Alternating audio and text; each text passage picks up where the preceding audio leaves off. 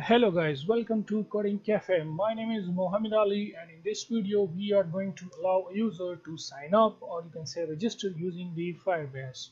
So yeah, let's do it. So open Visual Studio Code. So come here to the sign up page and here what we're gonna do is we can access it by their ID. I mean when a user click on the register button, if I show you then a user will basically write email password confirm password and click on register. So we have to set a click listener I mean sorry a click event on our register button. So the ID of this one is BTN sign up. Okay so let's come here. And just for the time saying I'm going to copy the login code okay?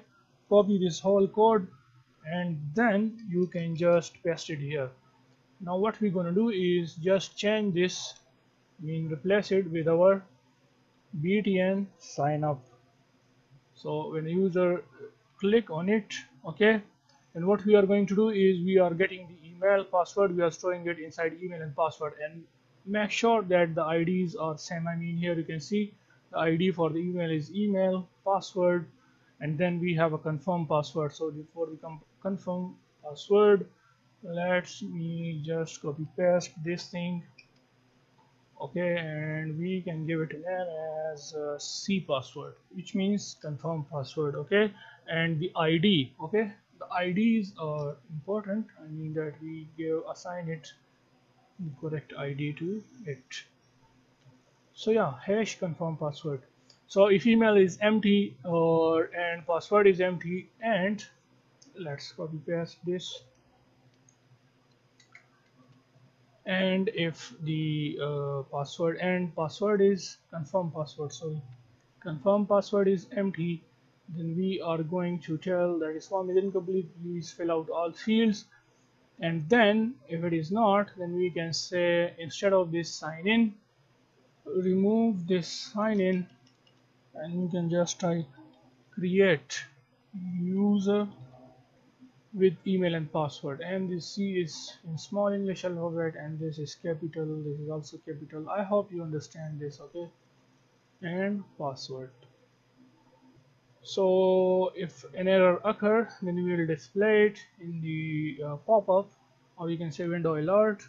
Otherwise it will allow the user to create a new account. So yeah. And also if the uh, password or confirm password is not i mean if both are not matching with each other i mean if both are different okay so what we gonna do for that? I mean we have to add a if condition for that also. So what we're gonna do is just cut this var result control x and first we have to type if condition. That must check that is the password must be equals to the confirm password only then this code will execute. Then paste that code here okay? And now the next thing is else statement. I mean we have to tell the user that is your password do not match with each other. So just copy this paste that here and we can say password do not match with the confirm password let's say. Not let's say but just to tell the user. So anyways yeah. I mean that is okay. Now uh, come here to the sign up page and just for the time saying let's come here to the sign in. I will tell you guys what we're gonna do. Just copy the script this whole thing copy it and now let's come back to the sign up. And above this body ending tag we can just paste our scripts here. Okay. So yeah I mean if the user is authenticated we are going to send the user to the main page. And now before testing the app make sure to save all. And one thing which I mentioned is that whenever you test the app make sure to uh, clear the previous history. I mean browser history or you can say the browser data okay? So clear it so that it can remove the cookies and other site data browser history and that all of these things so that we can test the app in its complete features you can say I mean successfully. So yeah now let's uh, run it http server. Now let's refresh this so yeah let's go to the sign up page. And now I'm going to type the email.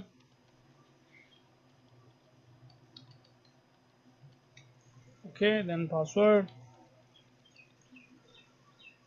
Then confirm. Now I'm going to type wrong uh, password okay? Wrong confirm password. Let's click it and it says password do not match with the confirm password okay? So you must write the correct password let me write 1 2 3 4 5 6 okay? And now if I click on this register then it basically create a brand new account and it allow us to the main page. If we go to the Firebase and refresh this then here you can see this is the new account which we now just created. Now what we're gonna do? If we just go to the uh, okay that I already show you in the previous video tutorial there which is this thing basically. If you click on sign in then it will send you automatically to the main page because we are already logged in okay? And yeah I mean this is working really nice. So you can now create many account as you want. And yeah that's it uh, for this video. Now what we're gonna do next is that in the next video tutorial we are going to work on the confirm I mean the account settings.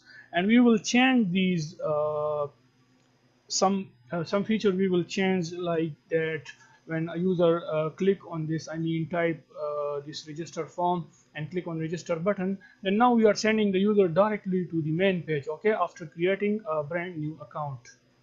Here you can see this okay Peter.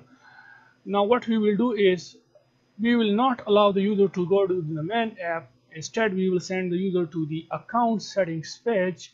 Now there a user will provide his name his profile uh, his name his user his profile name username address and country gender all these stuffs. So once the user do the account settings only then the user will be able to come here to the main page and start using the app.